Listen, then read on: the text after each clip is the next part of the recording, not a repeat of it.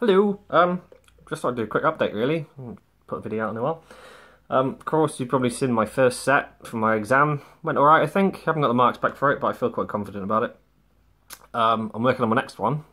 Uh, another four ridiculous songs. This um, this time it's got to be a little bit harder. So naturally, I stuck Yngwie Malmsteen on there, and obviously that's suicide. But um, I think I've got somewhere with it. It's one of those things where you just have to keep going through the licks and stuff all the time, like just the, the little runs the, all that stuff.